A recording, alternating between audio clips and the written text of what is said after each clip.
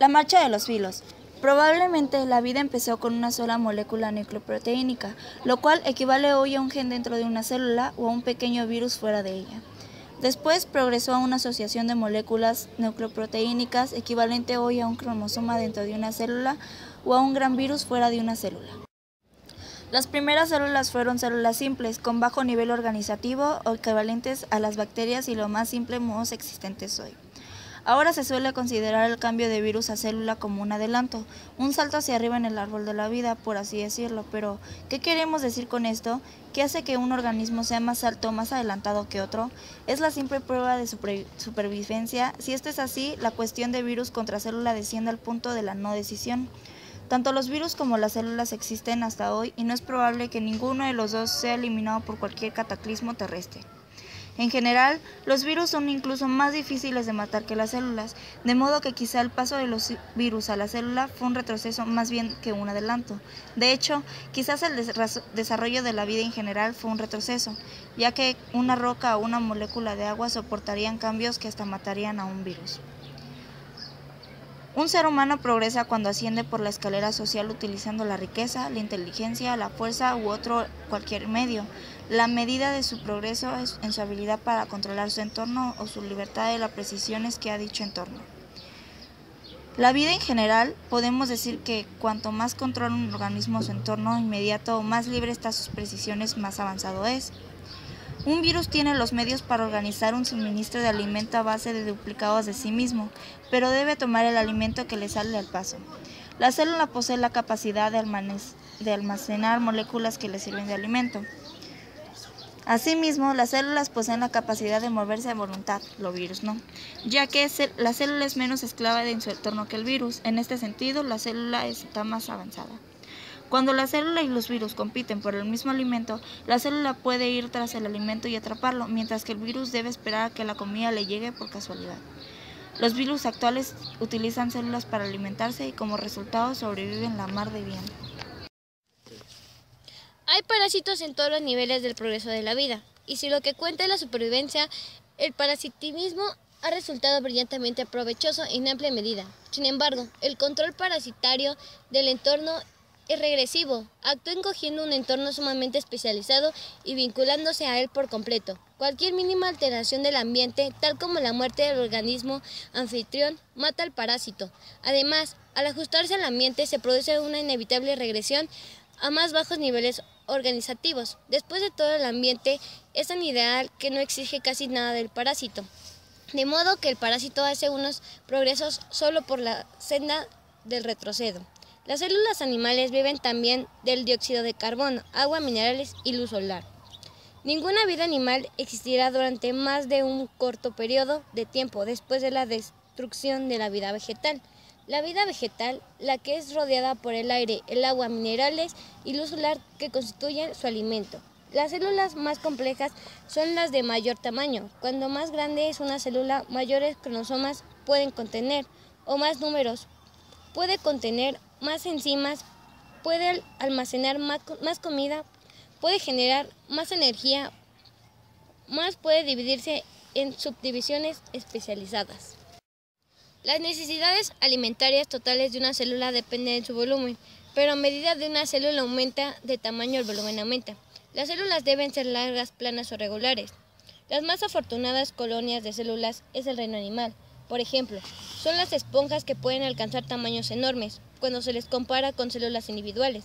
Las esponjas están formadas por varios tipos de células especializadas, cada una de las cuales desempeña la función particularmente bien.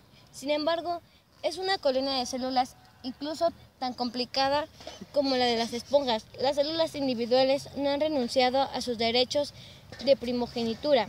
Cada célula individual de una esponja puede y a veces lo hace desambular por una cuenta e iniciar una nueva colonia. Cada célula debe superarse constantemente en su labor particular, aun cuando ello signifique abandonar otras habilidades. Las deficiencias de una célula serán subsanadas en definitiva por sus vecinas. Eventualmente la célula individual de una colonia se vuelve tan especializada que ya no puede existir sola, solo como parte de un grupo.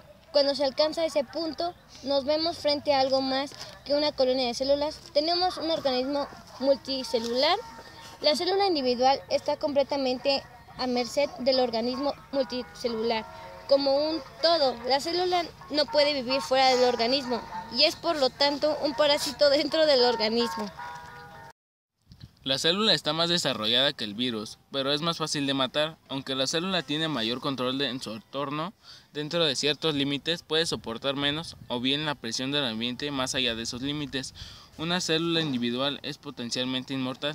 Si se le da suficiente alimento y seguridad, crecerá y se dividirá eternamente. El organismo multicelular depende no solo de las células que lo componen, sino de los la organización entre ellas.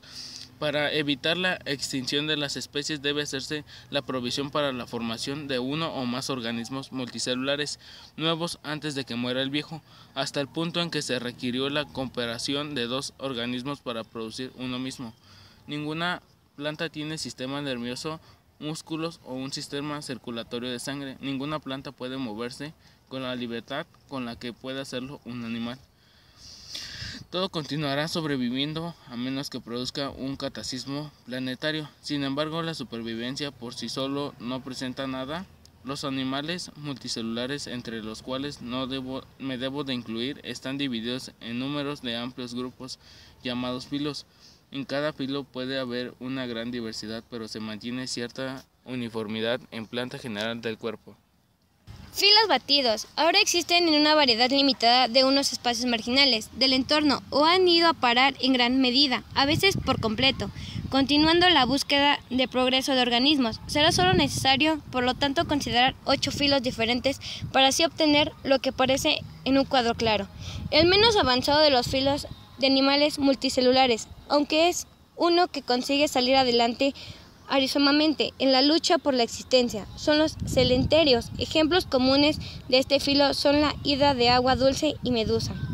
Contiene células punzantes que sirven como armas ofensivas y para capturar organismos más pequeños.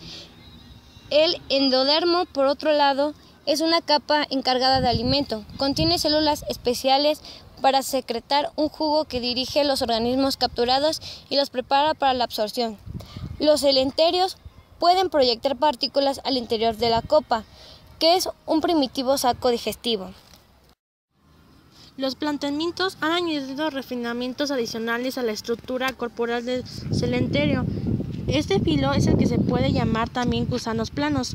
Contiene formas parasitarias bien conocidas, lombrices solitarias. También contiene formas de vida libre, la mejor conocida de las cuales es una criatura milimétrica llamada planaria. Los platelmintos poseen una tercera capa de células llamada el mesodermo en el espacio. Los platelmintos utilizan el mesodermo para formar fibras contrastiles que constituyen los primeros músculos animales. También forman órganos especiales reproductivos y un embrión de órganos excretores.